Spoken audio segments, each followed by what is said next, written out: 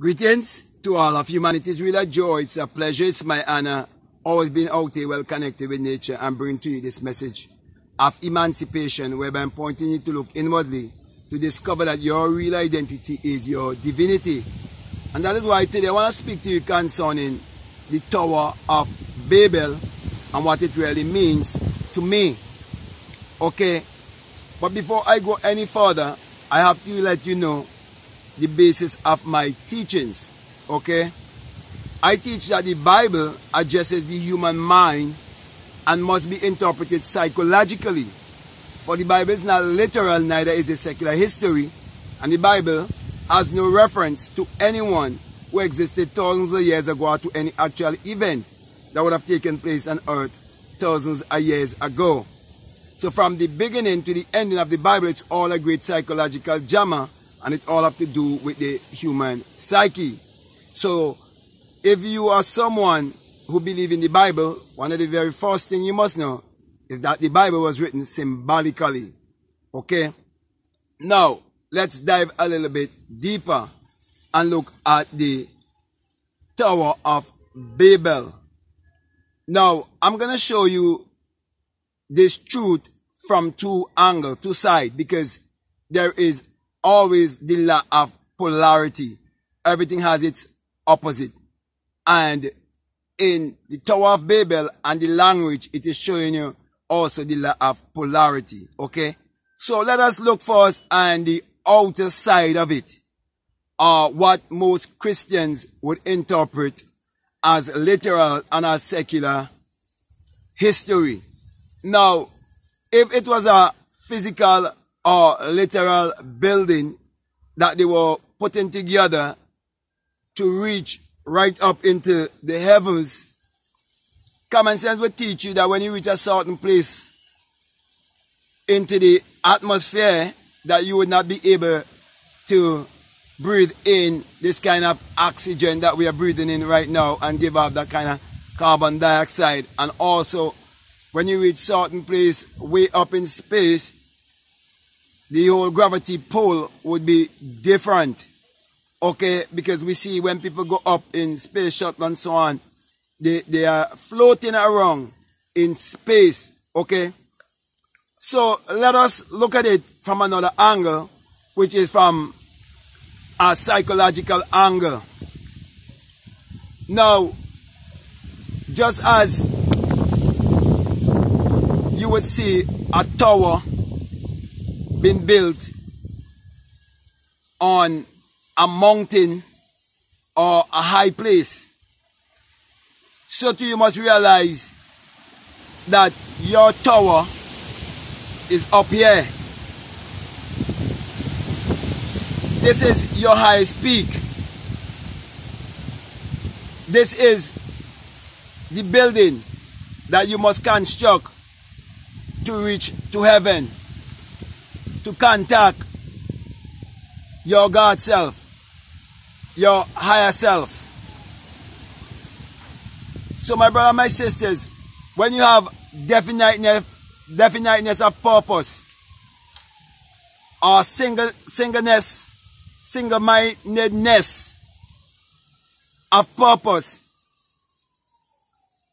dwelling in the realm or energy of love, you are in oneness. You have found that plane where you want to build your tower to be connected, to have the right concept of self. So just as we would look on the outside and see that there is a great communication civilization, it is teaching you of an inner communication civilization that will link you to your higher self, that would link you to discover that the creator in man is man's imagination. But when you do not have definiteness of purpose and you are not well focused and concentrated on what you want and you allow yourself to become double-minded, this is you slipping into that place of confusion. And remember that God in man is man's imagination. And remember I would have mentioned earlier the polarity. So you cannot be double-minded or you can be single-minded. You can use your thoughts and your emotion and it will create your reality consciously. Because there's one universal consciousness. And everyone in this world can use their thoughts and their emotion and create. They can do it consciously and they can do it unconsciously. However, whenever you are double-minded, as I would have said before, you are unstable in all your ways. So the Tower of Babel is showing you a confused mind. A mind that is full with confusion. A mind that is filled with intellectualism. And that has been trapped in the matrix of false identity, false education, religion, and politics. All of that constitute a tower of division. All of that constitute the destruction of the Tower of Babel. So, what I'm saying in short is that you must vibrate on the energy of love. Because the energy of love is the only thing that can take you into that higher place of consciousness without any confusion, without any doubt, without any fear. For we're living in a world where we use different terminology, different words, different languages. And they all have some different meaning to each and every one of us.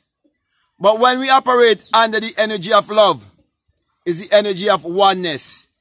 When we speak the law of consciousness, it is the universal language of humanity. And that is why we always have to look inwardly to discover that our real identity is our divinity. And that imagination creates reality. For God and man is man's imagination. So man wanted to take his imagination and bring his imagination into the place of oneness with God. But many was trying to do it and many are still trying to do it from the materialistic outer side of existence. And that will all bring confusion. For right now, we are seeing in the earth that those who wants to take science and technology to a level where they believe that they can attain immortality. And there are those of us who are looking inwardly to understand our immortality, to know that we are spirit having a human experience. So there will always be the law of polarity. There will always be those who are seeking to discover God from the materialistic realm of just using thoughts and emotion and create on the outside. But the story in Genesis 11 is teaching us concerning the two portals. The portal that bring us into the realm of the physical and the one that takes us into the realm of the spiritual. So my brother, my sisters, that is why you have to understand that the Bible is psychological. And you have to realize that the kingdom of God is within man. Or you would live, live the rest of your life in confusion. So the Tower of Babel is just basically teaching you the polarity. Those who would use thoughts and emotion and will still end up in confusion.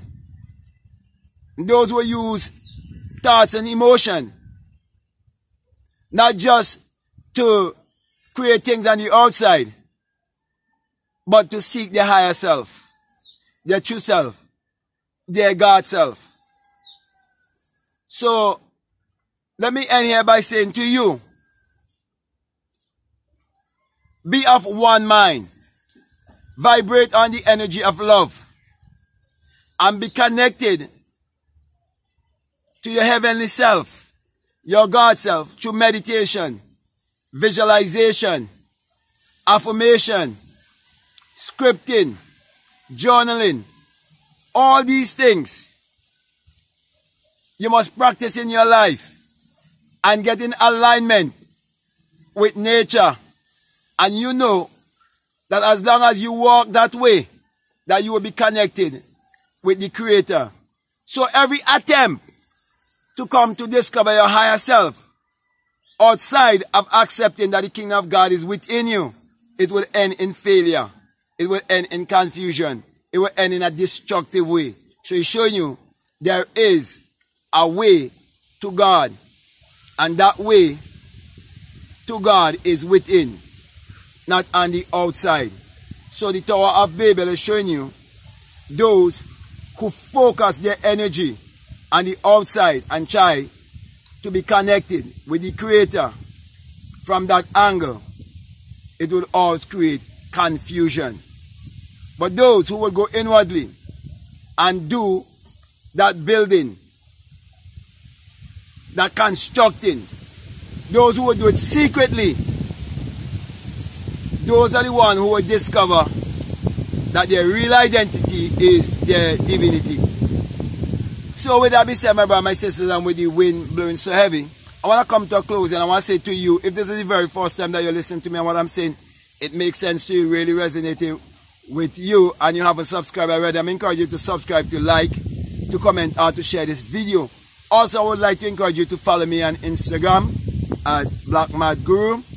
And also, if you would like to know more about the inner sun science and technology or the inner sun engineering, you can check out my Patreon because this is the time that people need to be more connected with the inner sun, science and technology because Bill Gates, they have their own science and technology to dim the sun or block the sun.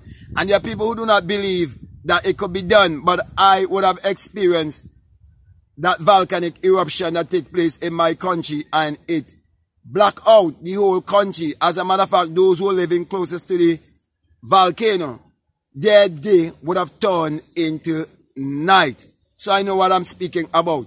So, my brother, my sisters, also if you like to support by way of PayPal, we have a PayPal link and all of the links are down below so you can check out them in the description. So with all of that being said, I want to say peace, love you all, I'm out.